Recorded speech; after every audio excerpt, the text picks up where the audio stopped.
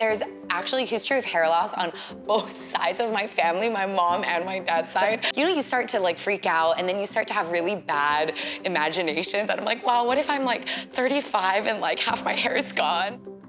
I'm someone with a very active and busy lifestyle. I don't necessarily have the time to go in and do really expensive treatments. So I think this is great. Like I can take it on the go. So it's less than three months, it's only, but we're already starting to see less uh, hair fall out. When I wash my hair, I will see a lot of hair in the drain. It's very saddening. like I'll pick it up, I'll be like, I'm so sad. Um, but yeah, like it, it's so much better now. I think we've even had to vacuum less because then we have like white tiles, so you can see the hair everywhere.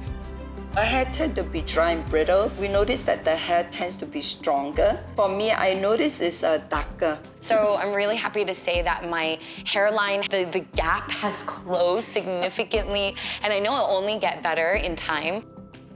Every word, right, in this thing, for desperate people like both of us, it gives us a slimmer of hope, like, yes, we can do this. I'm just like so amazed that a product like this even exists. Just like the shine, yeah. the strength. I'm actually using less hair product now and I'm enjoying better hair.